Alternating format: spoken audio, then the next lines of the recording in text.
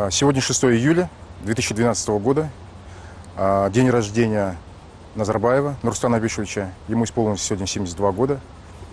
Я ему желаю долгого-долгого лет здоровья, лет еще 50, но желательно, чтобы все вот эти 50 лет он провел на пенсии.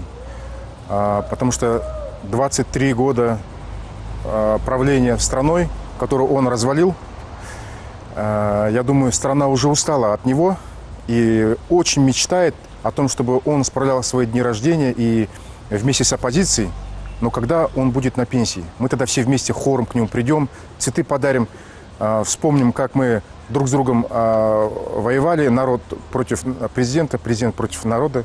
И вот мы хотим его поздравить и напомнить ему о том, что все-таки он а, это, это, не, это не император, это не тирания.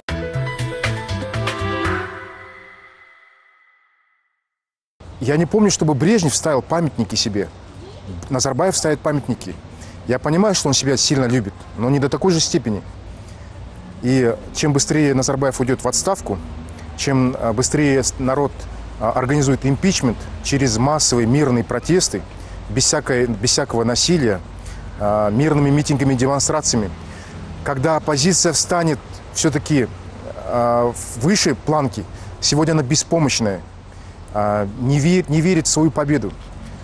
В конце концов, мы должны эту а, оппозицию должна уйти в отставку, в конце концов, тоже. Прийти должна новая оппозиция, которая организует по-новому нормальное а, собрание, митинги людей, организует честный массовый разговор на- насчет- насчет проблем в стране. И я жду того момента, когда все-таки общественность все-таки сплотится и нормально организует принародное увольнение президента с избранием новой власти.